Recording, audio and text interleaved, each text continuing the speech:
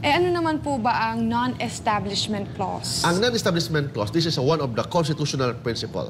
You will know this if you enter law school, lalo na pag first year law school ka, yung tinatawag na non-establishment clause. Ang ibig sabihin doon, dapat walang batas na na mag-recognize na may preference tayo sa isang reliyon.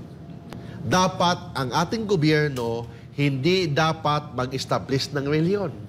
Walang state, walang state religion, walang ganun. Kasi bawal ang state mag-establish ng reliyon, bawal ang state na magbibigay ng preference or discrimination sa isang reliyon. That's why, ano yung mga example ng mga non-establishment clause? Ano-ano yung mga halimbawa ng non-establishment clause? Very clear yung halimbawa. Ang halimbawa niyan, for example, bawal ang reliyon mag-establish ng isang political party. Oh. Oh, di ba? So, of course, may mga indirectly meron yan, but in reality, walang reliyon, walang political party based on religion.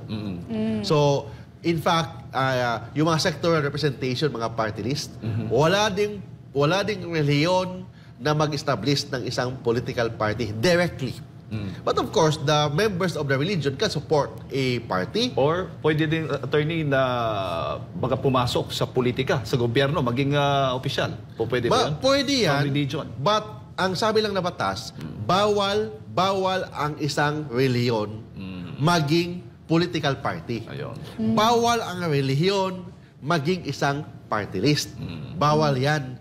But of course, the members of the religion can support a presidential candidate. Pwede yan. Walang Yes. problema, hindi bawal yan. Oo. Kasi kahit na Kristiyano ka, Pili- Pilipino ka pa rin. So you can you can vote, pwede ang isang head ng ng religious sect can endorse a Political a political party, a candidate. nangyayari yan. Every Nangyayari yan. election, oo. Nangyayari yan. So, hindi bawal yan. Oo. Ang bawal lang, ang isang reliyon mag-establish ng isang political party. Yo. Ang isang reliyon mag-establish ng isang party list system. Yun yan, bawal. And third, dapat ang public funds should be used for public purpose. Dapat ang public funds or public property shall not be used for religious purposes. Ang ibig sabihin doon, hindi pwede na mag-appropriate ng funds si congressman worth 10 million pesos para i ipatayo niya ng kapilya. Bawal yan. O ipatayo niya ng simbahan. Bawal yan. Kasi sabi ng batas, public funds should only be used for public purpose. It should not be used directly or indirectly for religious purpose. So bawal ang ang ang kwarta ng ating gobyerno, Jade, bawal gamitin for religion. Bawal establish ng reliyon, bawal ipatayo ng simbahan, bawal yan. Bakit? Public funds should only be used for public purpose. Mm-mm. Pero papaano, attorney, Kuya Mark at uh, Miss Lana din, eh, yung isang relihiyon ay papasok sa isang uh, government agency, magpapalaganap lang ng uh, mensahe doon. Say, for example, sa Bilibid nangyayari ba yan? Yung may mga pag uh, nagpapahayag, nagpapalaganap ng mensahe, mga salita ng Diyos. Ayos, pa, pwede naman, pwede naman bawal yan. Ah, may mga religious organization na pupunta sa mga kulungan, nagbibigay ng counseling, Ah, free yun. Walang nilalabag yun. O- Wala, walang, walang paglalabag yan. In fact, may isang, ah, in fact, for, for example, isa, you are a priest, Yes. Catholic priest ka, may mga, pwede ka maging chaplain.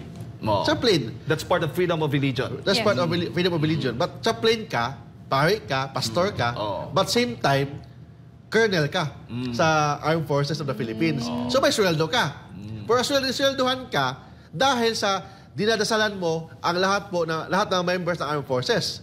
Yun yan. Oo. So, colonel ka, may, may uniforme ka, may, may, may mga star-star ka pa dyan. Oo. But, uh, chaplain ka, colonel ka, so may sweldo ka. Oo. So, yun ang mga exception. But as a general rule, bawal ang ating public funds gagamitin for religious purposes. O, paano kung tatanggap ng pera naman, yung for example, isang uh, pastor chaplain ba, sa isang uh, event, uh, yun, uh, which is nagpapa part ng kanyang freedom of uh, religion, uh, may event doon na siya ang nag, uh, nangunguna sa pagpapahayag ng salita ng Diyos.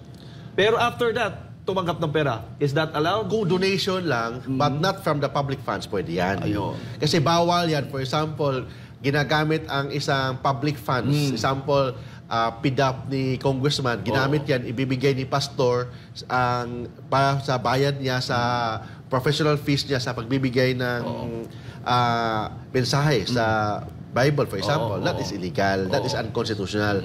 Violation yan ng, ng church and state principle. ah, Separation of church and state. Kasi it's very clear ang batas.